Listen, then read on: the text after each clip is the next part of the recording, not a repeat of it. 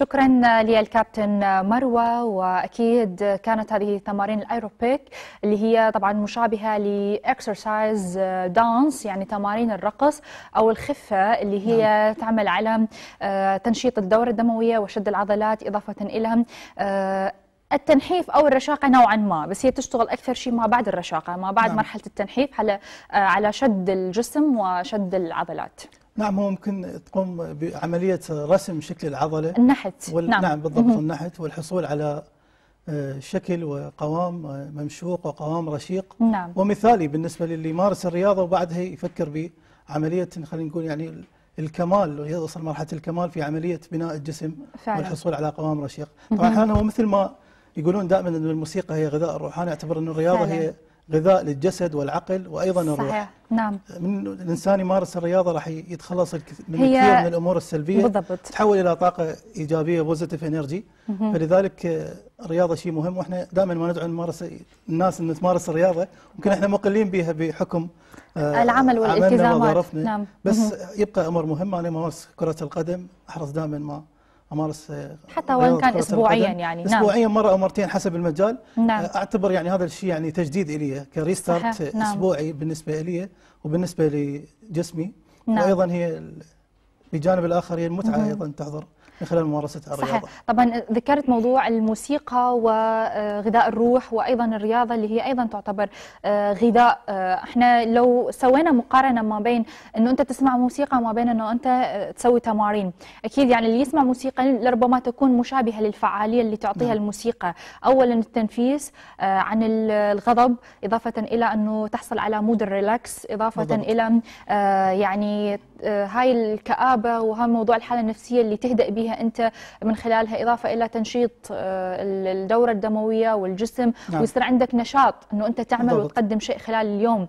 هذا موضوع الموسيقى. فهي أيضا نفس الشيء يعني تساكلي هير يعني نفس الشيء بالرياضة نفس الفعالية. فإحنا إذا ما قدرنا نسمع موسيقى ممكن إنه إحنا نمارس الرياضة. ممكن نمارس الموسيقى يعني آه، عفوا نمارس الرياضة نسمع الموسيقى في نفس يعني. الوقت. طيب أوكي. أوكي حنان خلينا نبدي اليوم في فقرات حلقتنا وبالتأكيد يعني كرة القدم هي على رأس الرياضات والمتابعة الاكثر وإلها تحظى بها بالنسبة آه، لجمهورنا وأنت تحبها؟ كل احبها مو بس احبها طيب. حتى أكون عادل يعني نعم. بقية الرياضات. بس هي يعني هذا الحال ماشي في كل بلدان العالم. فعلا يعني نمبر 1 صحيح صارت رقم واحد. نعم. المتابعه لكل العالم. العالم بلدان العالم. دورينا الدوري العراقي الممتاز يوم أمس انطلقت الجولة السادسة عشر. نعم. كان هناك عدة لقاءات. أبرزها لقاء المتصدر فريق الشرطة. بالضبط فريق الشرطة من كثر ما قلنا فريق يقدم عروض مميزة.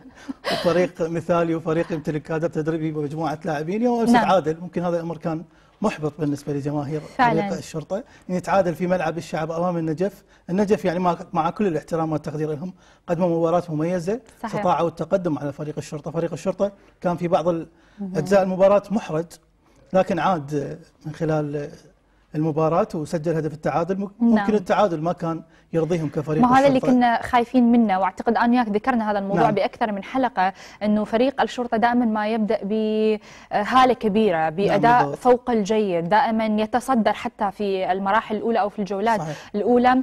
آه وبعدين يبدأ آه ممكن إنه يصير في هبوط أو يصير في آه تقاعس وتكاسل عن الأداء آه اللي إحنا ما شاهدناه في البداية. فهذا اللي دائما ما نشوفه سلبي ونقطة سلبية بالنسبة لفريق الشرطة. إحنا نتمنى أن يكون هنالك صحوة جديدة تعيد آه، الحركة من جديد بالنسبة لفرق الشرطة. يعني. نعم. محتفظين بالصدارة وبفارق عن بالنسبة للنجف صح النجف دائما يقدم مع الشخصيات بالضبط. الكبيرة مع الفرق الكبيرة في ملعب الشعب مع الأندية الجماهيرية. صح تحسه هو كأنه بأرضه وكأنه بين جمهوره. صحيح. تحس إنه يمتلك هاي الأوراق الرابحة يحسبها له فدائما يقدم مع الفرق الكبار. بالتأكيد يعني فريق النجف يعتبر من الفرق العريقة في الدوري العراقي. صحيح. إلى قاعدة جماهيرية كبيرة في محافظة النجف. دائما ما يقدم آه، لاعبين و لهم تركوا بصمه مميزة في آه، دورينا الدوري العراقي الممتاز وأيضا قدم لاعبين آه، لمنتخباتنا الوطنية نعم. يوم أمس تعادل مع الشرطة المتصدر في بغداد أمر إيجابي بالنسبة لفريق النجف وبالنسبة لكادر التدريب بقيادة المدرب ثار جسام نعم. يعني هذا شيء إيجابي يحسب لهم أنه صحيح. وقفوا بالند أمام المتصدر ورجعوا بنقطة إلى محافظة النجف نعم. هذا شيء راح يكون له دافع معنوي وإيجابي بالنسبة لمسيرتهم في بقية مراحل الدوري بالضبط مباريات أخرى أكيد حنان يعني مم. كانت في مثلا يعني الكرخ مع أربيل الكرخ في أرضه نعم أيضا مفاجئة. في أرضه في ملعبه لكن مفاجأة كانت بالنسبة لأربيل صحيح. على اعتبار يعني هالفريقين قدماء جدد على الدوري بالضبط. يعني بعد دوري الدرجة الأولى مميز. والتحقوا برحلة ومسيرة الدوري الكروي الممتاز لكن كل ما شاهدناه في البداية من هذا الموسم إنه الكرخ هو صاحب الأفضلية في صح. بداية الموسم وأربيل هو اللي يتراجع بحسب ظروفه ووضعه. لكن اللي شاهدناه يوم أمس بهذا اللقاء العكس تماما. أربيل هو اللي قدم أربيل اللي هو كان المثابر والمصر على أخذ نقطة. هي جمالية كرة القدم حنان نعم. ماكو توقعات. ممكن يعني أقوى الفرق ممكن يجي في مباراة أمام منافس يكون أقل من عنده بالامور الفنية بالإمكانات على كل النواحي يجي يقدم مباراة أفضل من المرشح. واللي الأضواء عليه نعم. فلذلك يوم أمس فريق أربيل حقق الفوز على الكرخ في بغداد وفي ملعب الكرخ ممكن هذا النتيجة كانت مفاجئة بناء على ما قدم الكرخ نعم. منذ انطلاقة الدوري ولحد الجولات الأخيرة مه. ويحتفظ بالمركز الثاني بالوصافه خلف الشرطة، لذلك كان الأمر مفاجئ، بس بالنسبة يعني إذا رجعنا تاريخيا أربيل مو فريق قليل، أربيل من الفرق اللي حرصت الدوري العراقي في أكثر من مناسبة، نعم أربيل صح. الفريق اللي مثل العراق أيضا في بطولات كأس الاتحاد الآسيوي، لذلك هي نتيجة يعني تكاد تكون منطقية إذا نعم. ما رجعنا قليلا إلى التاريخ وإلى اسم أربيل. طيب أكيد إحنا نتواصل بقراءة كل المباريات اللي كانت يوم أمس الأحد. ما أعرف شنو اللي ممكن إنه يكون في تغيير للمود والأجواء مع دورينا على اعتبار إنه كل المباريات كانت مهمة. نعم.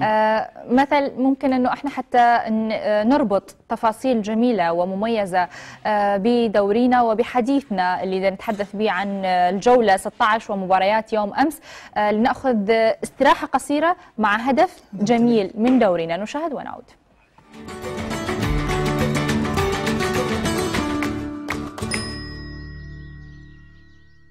جوية نفط الوسط وكان ند لفريق القوة الجوية وكان أقرب للفوز في تلك المباراة. لولا الهدف اللي سجله بالخطأ في مرمى نبيل عباس كان ممكن نفط الوسط وأنا محاولة لهدف أول. جول لنفط الوسط. البديل البديل البديل علي سعد علي سعد يجلب السعد لراضي. علي سعد يجلب السعد لراضي. شليشل بهدف أول في هذه المباراة؟ بديل ناجح لراضي. بديل لناجح لراضي علي سعد. أول اهدافه مع نفط الوسط علي سعد. لاحظ الراسيه غير مراقب علي سعد. يضعها على يسار حارس المرمى كرار